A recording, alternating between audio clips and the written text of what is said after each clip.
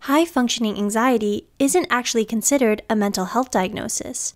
Instead, it's a term many people can relate to when they have anxiety and can still carry out everyday tasks at a functional level. It could be the valedictorian in your class, your coworker who has an exceptionally polished resume, or it might even be you.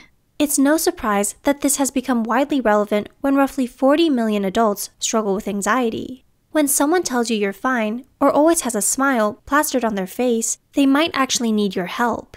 Here are 10 signs of high functioning anxiety. 1. You're an overachiever. Do you consider yourself a perfectionist, type A, and a planner? People with anxiety always feel like they need control in order to feel at ease. Whether it means making big to do lists, showing up at a meeting early, or staying up late studying for a test they already memorized by heart, the individual stays busy in order to feel productive. One research study shows that it's only when you feel in control that you can deal with stress. 2. No is rarely used in your vocabulary. Getting things done becomes more important than your health. If you sacrifice eating meals on time or cancel plans with friends to do someone else a favor, you might have high functioning anxiety. You'd rather suck it up and get the work done instead of saying no, fearing that it might pile up otherwise. You may also be afraid to reject others, afraid that you'll hurt them, so you bite the bullet and you hurt yourself instead. 3. What is sleep? Apparently, never enough for people with anxiety. How can it be when you're constantly tossing and turning in bed, consumed by your worries? Anxiety doesn't need a reason to keep you up. You have everything checked off your to do list and still worry about a million other things. 4. You crack cynical jokes for fun. Are you sarcastic or make jokes about dying? Chances are you aren't as happy as you seem when you tell the punchline. If you're laughing and putting on a show when you're actually suffering, this is anxiety. It forces you to entertain and mask your intensities behind your witty combat.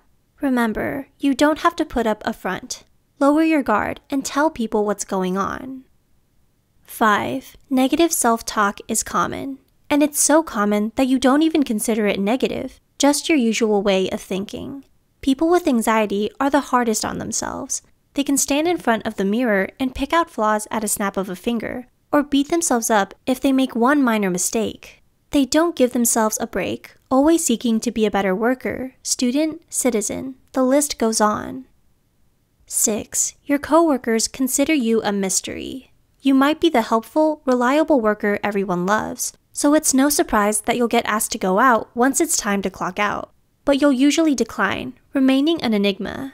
Other people will find it hard to read you, not because you want to seem cold or detached, but letting loose and socializing without preparing ahead of time actually terrifies you.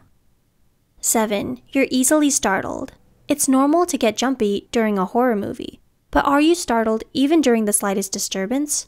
Afraid that others might find you spineless, therapist Anne Wright says you may resort to unhealthy habits, such as drinking, drugs, or endless social media scrolling as a distraction. 8. Bad days are normal for you. Excessive ruminating, panic attacks, and an inability to relax have all become ingrained in your daily routines, that good days become once in a blue moon. But instead of outwardly complaining or calling up a friend to talk about it, you might just bottle it up, since it happens every week, you worry that others will find you annoying or a burden. 9. You constantly seek validation. Anxiety makes rationality hard to achieve. That's why the individual often seeks logic from others. They fear their judgment isn't enough, so they rely on the support and guidance of friends, family, and coworkers. They don't mean to lean on people 24 7, but it significantly quiets down their loud thoughts. On the flip side, however, some may worry about being a burden, so they choose to suffer silently instead of reaching out to others. 10. You're afraid of letting people down. You don't know how to break the news to your loved ones if you're not happy with your so called dream career or don't want the same things as them. You often succumb to other people's expectations, working hard to be a role model. And no matter how tired you are of being you, your anxiety will push you to continue performing as if your whole life counts on it. Did you enjoy this video? Jaden Animations also covers her own personal struggles with anxiety. We think her content holds value and will be helpful for you. Be sure to check out her videos and show some love. Thanks for watching!